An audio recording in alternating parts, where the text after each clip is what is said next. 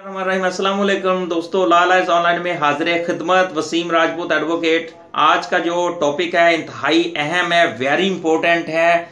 ये concept of bail what is further inquiry bail के अंदर ये जो फर्दर इंक्वायरी क्या होती है, क्या कंसेप्ट है, इस बारे में senior advocate supreme court of Pakistan Abdul Karim Sheikh साहब हैं। और इंतहाई काबिल लॉयर्स हैं, advocate supreme court of Pakistan, इनसे हम ये सवाल करेंगे कि आप हमें ये बेल कंसेप्ट ऑफ़ बेल के अंदर जो बेल के अंदर जो होता है कि व्हाट इज़ फर्दर इंक्वायरी इस बारे में आप बताइएगा। ये एक फ्रेश लॉ का स्टूडेंट थे और अभी रिसेंटली एक दोस्त ने वकालत ज्वाइन की है। तो उनका ये सवाल था। मैं अपने बड़े भाई senior advocate of supreme court Abdul Karim Sheikh साहब से हम ये सवाल करेंगे कि वो हमें इसमें व्हाट इज़ फर्दर इंक्वायरी के बारे में हमें बताएँगे। जी जनाब जनाब अब्दुल करीम शेख साहब।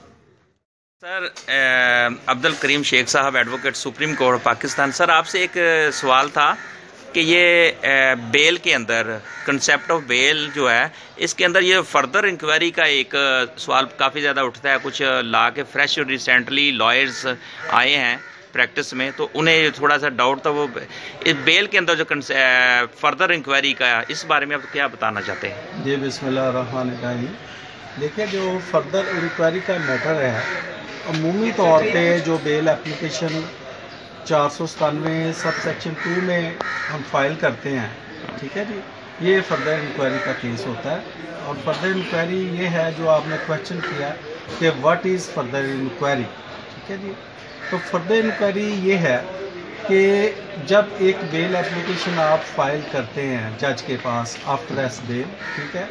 और जज जो है, तमाम तर एविडेंस तमाम तर शहादत, तमाम तर मटेरियल जो सफ़ा मिसल पे मौजूद है, उसको पैरूज करने के बाद, उसको मुलाहजा करने के बाद, अगर वो इस नतीजा पर पहुँचे कि जो केस है मुलम का, जिसकी बेल दायर की हुई है, जिसकी बेल को उसने डिसाइड करना है, कि वो सारा मटेरियल जो है उसको प्रूव करने के बाद इस नतीजे पे पहुँचे कि मज़ीद इंक्वायरी की ज़रूरत है मुलम को जुर्म से मुंसलिक करने के लिए तो जब वो इस नतीजे पे पहुंचेगा तो ऑब्वियसली उसको बेल ग्रांट करेगा। दूसरे लफ्ज़ों में जो जजमेंट्स हैं, जिनमें ये अल्फाज भी लिखे हुए फर्दर इंक्वायरी की एक्सप्लेनेशन है इंटरप्रेट किया कोर्ट ने, कि when a court when a जज after perusal of the whole record after perusal of whole the evidence after perusal of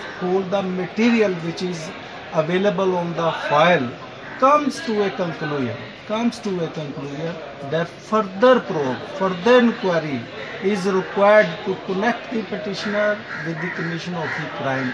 Then obviously the bail will be granted by the judge.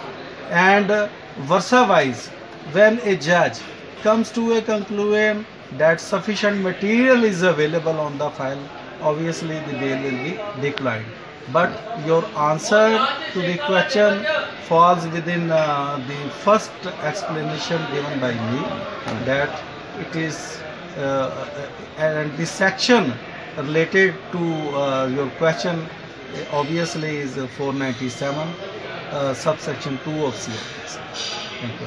Thank you, sir. बहुत मेहरबानी